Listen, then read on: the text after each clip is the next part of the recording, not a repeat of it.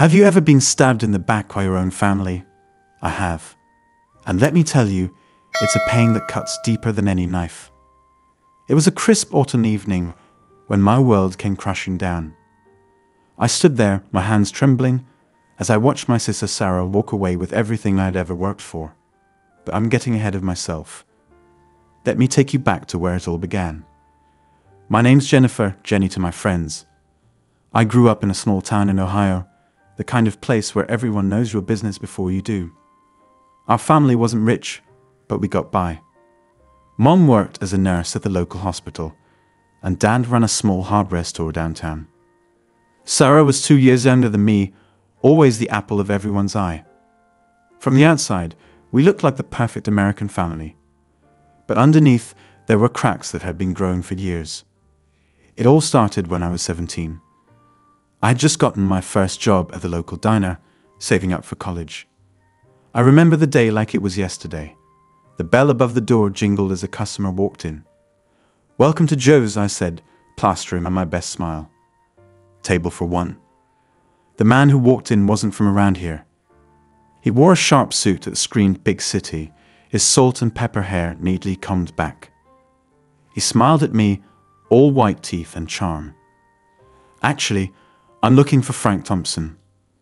I heard he owns the hardware store in town. My heart skipped a beat. That's my dad, I said, my voice barely above a whisper. The man's eyebrows shot up. Well, isn't that fortunate? I'm Jack Reeves, an old friend of your father's. Mind if I wait here until your shift is over?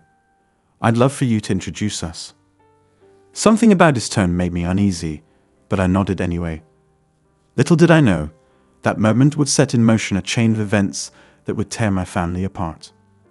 As I worked my shift, I couldn't help but notice Mr. Reeves watching me. His eyes followed my every move, and I felt a chill run down my spine. When my shift finally ended, I reluctantly led him to our house. Dad, I called out as we entered. There's someone here to see you. The moment my father laid eyes on Jack Reeves, the colour drained from his face. It was like he'd seen a ghost. Jack, he said, his voice hoarse. What are you doing here? Mr. Reeves smiled, but it didn't reach his eyes. Come now, Frank. Is that any way to greet an old friend? The tension in the room was palpable. I looked between the two men, feeling like I was missing something crucial. Jenny, why don't you go to your room? Dad said, his eyes never leaving Mr. Reeves. I hesitated, but the look on Dad's face broke no argument. As I climbed the stairs, I heard their voices, low and urgent. You can't be here, Jack. We had a deal. Deals change, Frank, and I think it's time we renegotiated ours. I pressed my ear against my bedroom door, straining to hear more, but their voices had dropped to whispers. Little did I know that conversation would be the beginning of the end for our family. Over the next few weeks, I noticed changes in Dad. He was distracted, jumpy even. The hardware store started closing early, and he'd disappear for hours at a time. Mom tried to ask him what was wrong, but he'd brush her off with a forced smile and a quick kiss. One night, I overheard them arguing in hushed tones. Frank, what's going on? You're never home anymore. The store's losing money? Please talk to me. It's nothing, Linda. Just some business troubles. I'll sort it out. Business troubles? Frank, we've been married for 20 years. I know when you're lying to me. There was a long pause, and then I heard Dad sigh. I'm sorry, Linda. I never meant for any of this to happen. I crept back to my room, my mind racing. What was Dad hiding? And what did it have to do with Jack Reeves? As the days went by, the atmosphere in our house grew more and more tense. Sarah seemed oblivious, wrapped up in her own world of high school drama and boys. But I could see the strain on Mom's face, the way Dad's shoulders slumped when he thought no one was looking. Then came the night that changed everything. I was studying for my SATs when I heard a crash downstairs. Jumping to my feet, I raced down to find Dad sprawled on the floor, clutching his chest. Dad! I screamed, dropping to my knees beside him. Mom, Sarah. Call an ambulance. The next few hours were a blur of sirens, bright lights, and antiseptic hospital smells. We huddled in the waiting room, Mom clutching Sarah and me to her sides like she was afraid we'd disappear too. When the doctor finally came out, his face was grave. Mrs. Thompson, your husband has had a massive heart attack. We've managed to stabilize him, but I'm afraid the damage to his heart is extensive. Mom's sob echoed through the sterile hallway. I felt numb, like I was watching everything happen from far away. Can we see him? Sarah asked, her voice small and scared. The doctor nodded. He's asking for Jennifer. Me? Why me? I followed the doctor down the hallway, my legs feeling like lead. When I entered Dad's room, the sight of him hooked up to all those machines made my stomach churn. Jenny, he croaked, reaching out a hand. I took it, trying not to wince at how frail it felt. I'm here, Dad. He squeezed my hand weakly. I'm sorry, sweetheart. I'm so sorry. Dad, what? Listen to me, he interrupted, his voice urgent. In my office, behind the painting of the lighthouse, there's a safe. The combination is your birthday. I frowned, confused. Dad, what are you talking about? Everything you need to know is in there. Promise me, promise me you'll make it right. Before I could ask what he meant, his eyes rolled back and the machines started beeping wildly. Nurses rushed in, pushing me out of the way. Dead. I screamed, but strong arms were pulling me out of the room. The last thing I saw was a nurse starting chest compressions. The next few days passed in a haze of grief and confusion. Dad survived, but barely. The doctors said he'd need round the clock care, that he might never fully recover. As we struggled to come to terms with our new reality, I couldn't shake Dad's words from my mind. What was in that safe? And what did he mean by make it right? It wasn't until after the funeral that I finally worked up the courage to look. Mom was heavily sedated, Sarah was staying with friends, and I was alone in the empty house that no longer felt like home. With shaking hands, I moved the painting in Dad's office. Sure enough, there was a small safe behind it. I punched in my birthday and the door swung open with a soft click. Inside was a thick manila envelope. My heart pounding, I opened it and began to read. What I found inside made my blood run cold. Apparently, Dad's old friend, Jack Reeves, wasn't a friend at all. He was a loan shark from Dad's past, someone he'd borrowed money from years ago to keep the hardware store afloat during rough patch. But the interest rates were astronomical, and Dad had never been able to pay it back fully. For years, he'd been making minimum payments, barely keeping his head above water. But recently, Reeves had come back, demanding full payment or else. The or else was spelled out in chilling detail. He'd take the store, the house, everything we had. But that wasn't even the worst part. As I dug deeper into the documents, I uncovered a web of lies and deceit that made my head spin. Dad had been cooking the books at the hardware store for years, inflating profits and hiding losses. He'd taken out second and third mortgages on our house without Mom's knowledge. There were even hints of some shady dealings with local politicians to secure contracts for the store. My father, the man I'd looked up to my whole life, was a fraud. I sat there on the floor of his office, surrounded by the evidence of his deception, and felt my world crumbling around me. What was I supposed to do with this information? How could I possibly make it right, like Dad had asked? As if in answer to my unspoken question, there was a knock at the door. Hastily shoving the documents back into the safe, I went to answer it. Standing on our porch, looking as smooth and dangerous as ever, was Jack Reeves. Hello, Jennifer, he said, his smile not reaching his eyes. I think it's time you and I had a little chat. I stood frozen in the doorway, my mind racing. Should I let him in? Call the police? Run? Before I could decide, he pushed past me into the house. Nice place, he said, looking around with an appraising eye. Shame about your old man. Heart attack, was it? Stress can be a killer. The casual way he said it made my skin crawl. What do you want, Mr. Reeves? He turned to face me, all pretense of friendliness gone. I want what's owed to me, girl. Your father made some promises, and I'm here to collect. I don't know what you're talking about. I lied, my heart pounding so loud I was sure he could hear it. Reeves laughed, a harsh, humorless sound. Oh, I think you do. Frank may be laid up in that hospital bed, but I'm willing to bet he spilled the beans before he checked out. So let's cut the crap, shall we? Where's the money? I swallowed hard, trying to keep my voice steady. There is no money, Mr. Reeves. The store's barely staying afloat, and with Dad's medical bills. Don't bullshit me. He snarls suddenly right in my face. I could smell his expensive cologne, see the flecks of grey in his cold eyes. Your old man's been skimming off the top for years. I want my cut, and I want it now. I took a step back, my hands shaking. I swear, I don't know anything about any money. Please, just leave us alone. We're barely holding it together as it is. Reeves studied me for a long moment, then his face split into a cruel smile. All right, let's say I believe you. That still leaves us with a problem, doesn't it? Your daddy owes me a lot of money, and someone's got to pay up.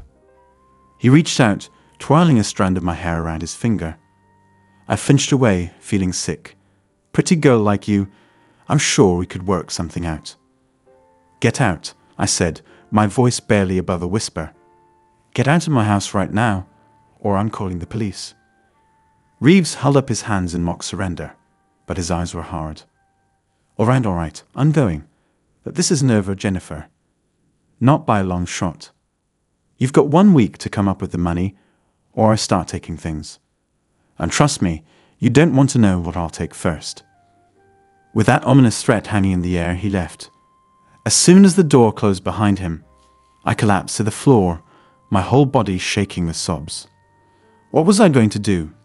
How could I possibly fix this mess Dad had created? As I sat there, trying to pull myself together, I heard a noise from upstairs. Footsteps, but that was impossible. I was alone in the house. Hello! I called out, my voice trembling. Is someone there? More footsteps, then silence. Gathering what little courage I had left, I grabbed a kitchen knife and crept up the stairs. The sounds were coming from Sarah's room.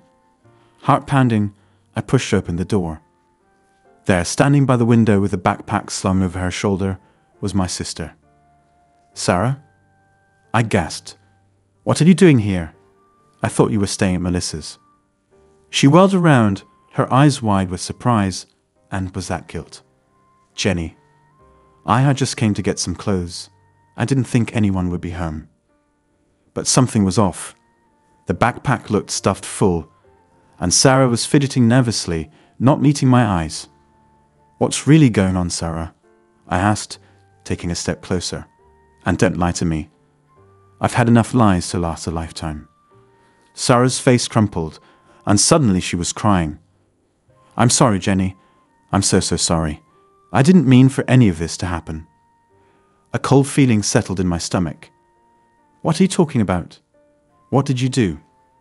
Between sobs, Sarah told me a story that made my head spin. Apparently, she'd overheard Dad talking to Reeves months ago. Curious, she'd done some digging and discovered Dad's secret stash of money, cash he'd been skimming from the store for years. I took some, she admitted, her voice small. Just a little at first for clothes, makeup, stuff mom and dad would never buy me. But then? Then what? I prompted, dreading the answer. Sarah looked up at me, her eyes pleading. I met this guy, Tommy. He said he could double the money if I invested it with him. I thought. I thought I could replace what I took and have extra left over, but it was a scam. He took everything and disappeared. I felt like I'd been punched in the gut. How much, Sarah? How much should you take? She whispered a number that made my blood run cold. It was more than enough to cover Dad's debt to Reeves, with plenty left over. Oh my God, I breathed. Do you have any idea what you've done? Sarah's face crumpled. I'm sorry, Jenny. I was going to run away, start over somewhere new. I can't face Mom and Dad. They'll hate me. Part of me wanted to shake her, to scream at her for being so stupid and selfish. But looking at her tear stained face, I saw the scared little girl who used to crawl into my bed during thunderstorms.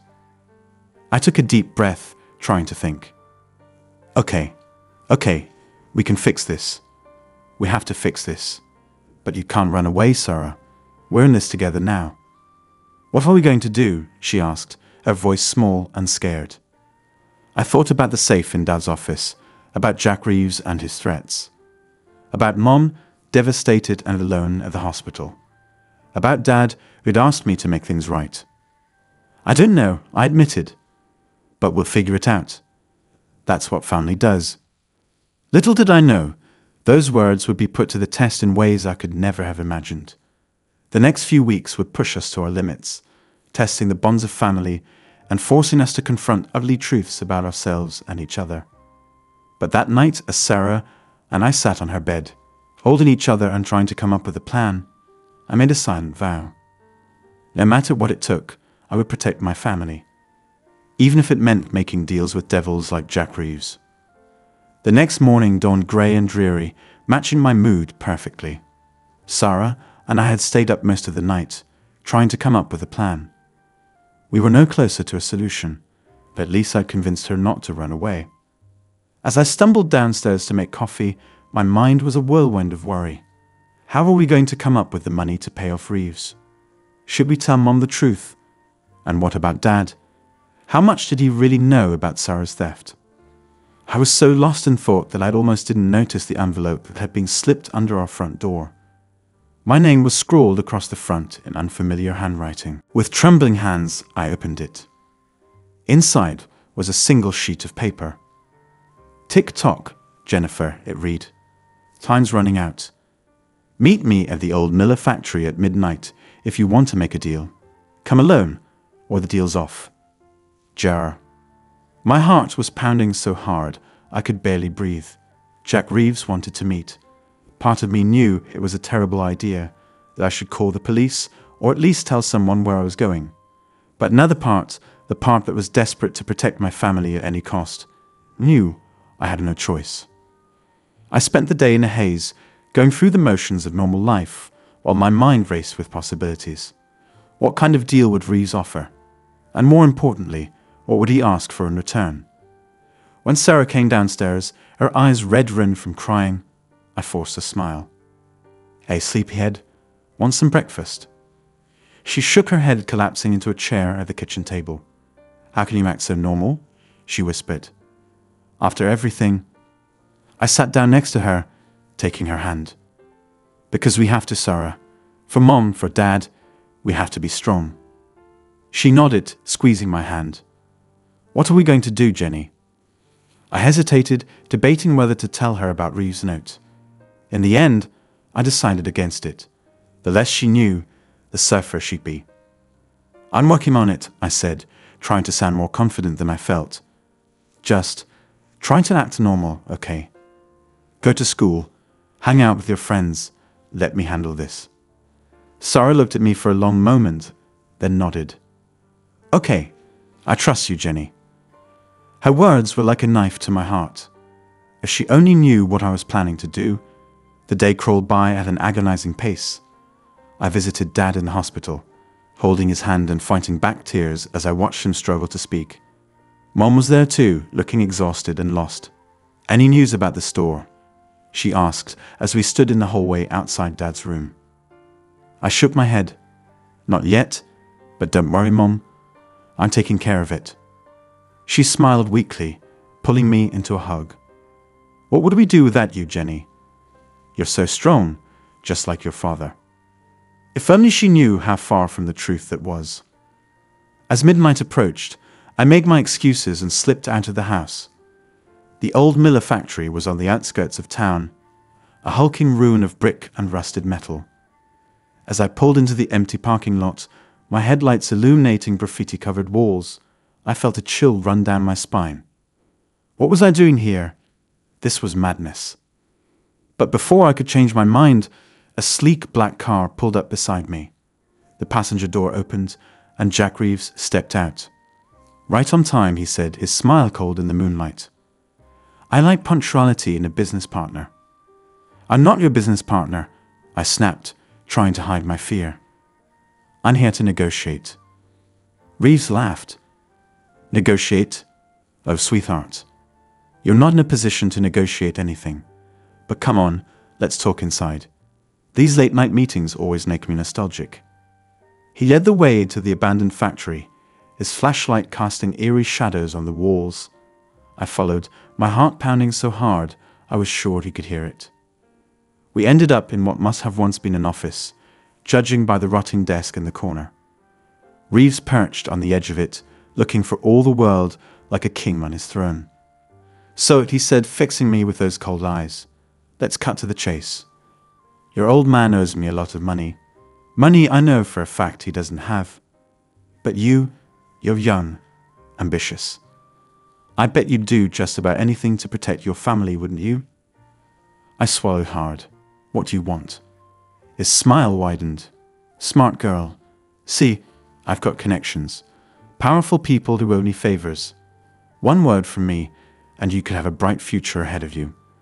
All you have to do is agree to work for me. Work for you, I repeated, my voice barely above a whisper. Doing what? Reeves waved a hand dismissively of nothing too strenuous, delivering packages, collecting payments. Maybe entertaining some of my associates from time to time. You're a pretty little thing, after all. The implication of his words made my stomach churn. And if I refuse, his eyes hardened. Then I take everything the store, the house, every last penny your family has.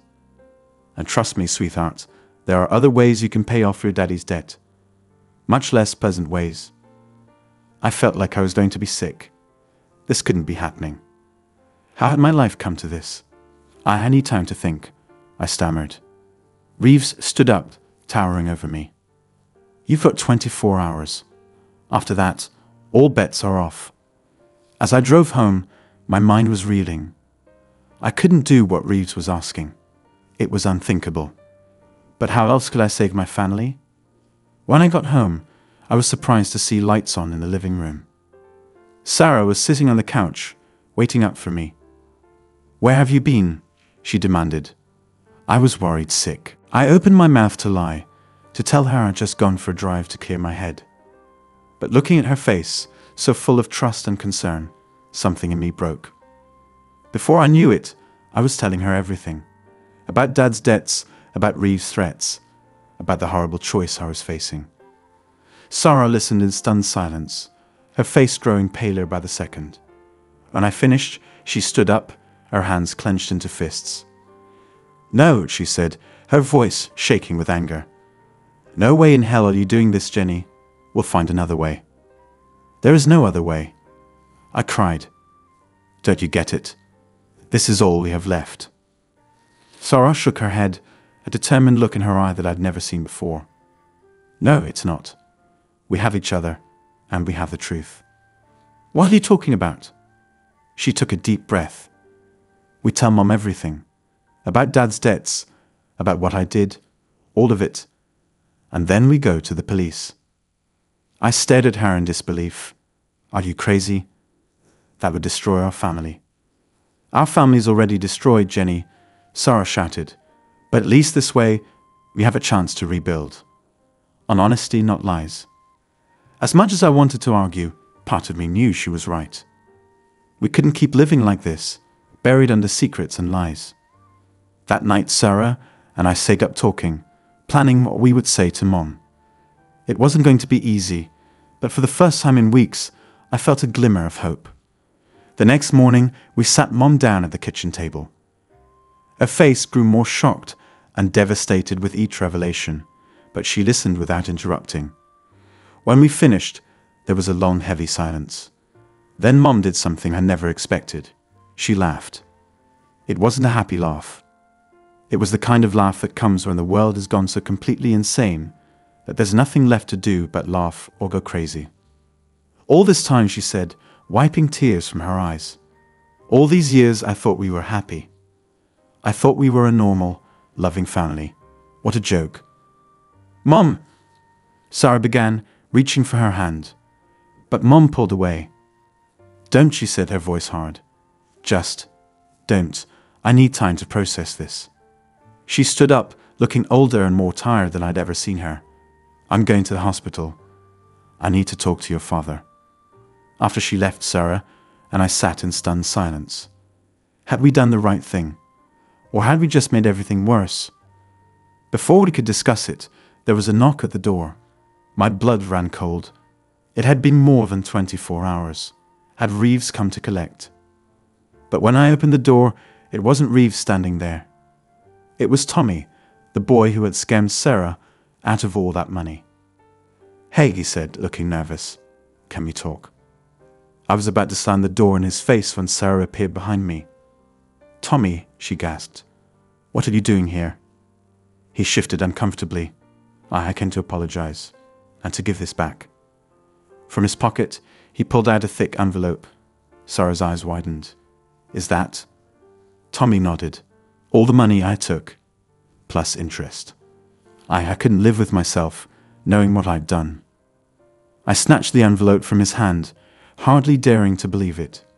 Inside was more cash than I'd ever seen in my life. How? I demanded. Where did you get this? Tommy looked down ashamed. I won big at a casino in Atlantic City. It felt like fate, you know. Like the universe was telling me to make things right. Part of me wanted to punch him for what he'd put us through. But a larger part was just overwhelmed with relief. With this money, we could pay off Reeves and save the store. As if summoned by my thoughts, a sleek black car pulled up in front of our house. Jack Reeves stepped out, his face thunderous.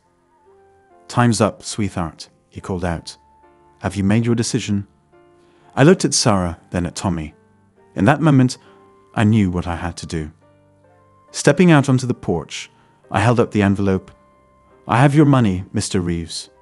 All of it, plus interest. His eyes widened in surprise, then narrowed suspiciously. Where did you get that kind of cash? I smiled, feeling truly confident for the first time in weeks. That's none of your business. The debt's paid. Now get off our property before I call the police. For a moment, I thought he might argue. But something in my face must have convinced him I was serious. With a final glare, he got back in his car and drove away. As I watched his taillights disappear down the street, I felt a weight lift off my shoulders. We weren't out of the woods yet. There was still so much to deal with, so many broken pieces to put back together. But for the first time in a long time, I felt hope. Sarah came up beside me, slipping her hand into mine. What now? she asked. I squeezed her hand. Now we start over. Together. The road ahead wouldn't be easy.